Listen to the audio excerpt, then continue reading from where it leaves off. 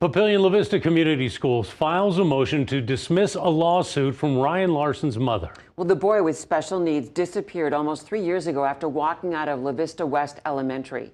The lawsuit alleges negligence, saying the school failed to act on its duties to supervise Larson. Well, the district's attorneys say they are immune from the suit.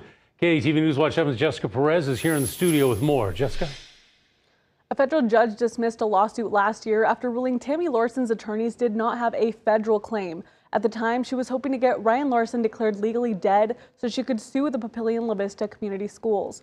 Nebraska law says a person needs to be missing for five years to get a death certificate. That case didn't end up in her favor. Now she's suing the district for negligence.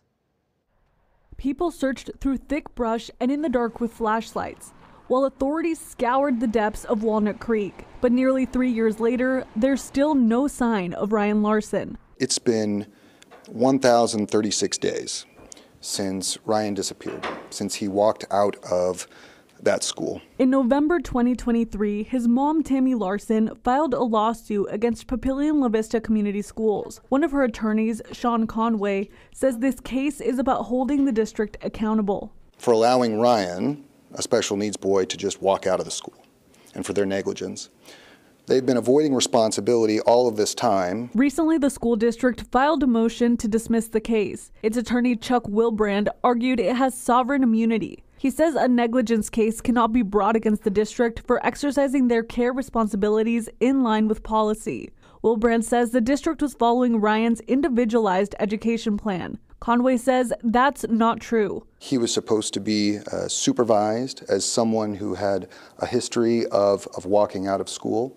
Uh, that supervision didn't happen. The school district didn't do its job. Larson's attorneys say Ryan was left alone in a classroom and staff allowed him to walk out of the school. They argued the district did not act on policy, but staff made the choice to let Ryan leave. The district also argues Tammy Larson could not seek damages since the victim is Ryan and no one's seen him or knows what the damage is. 1,036 days since he's been able to capably take care of himself as an 11 year old boy.